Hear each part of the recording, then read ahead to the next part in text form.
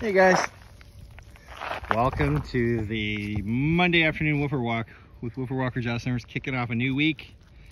With All these woofers, there's Pretzel and Poppy. Teemo got the got the double Shibas going on. Luoluo, Aly, Bella, um, Snowy, Raylan, and that's uh, what's up. I got someone walking up to me soon here, so Gotta grab a leash or two.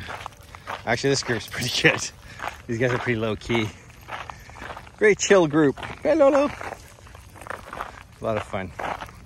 Anyway, I'm gonna make this just a short one.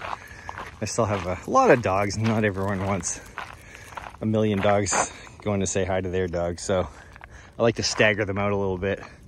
I, I like to do something I call stretching out the pack, where like one or two dogs can go at a time to say hello. Poppy, come here. You're gonna hang with me for a sec. Poppy, good boy. And then everyone else can just go say hi slowly. These are these guys are really nice and social, so should be good. Okay, see you guys in a bit.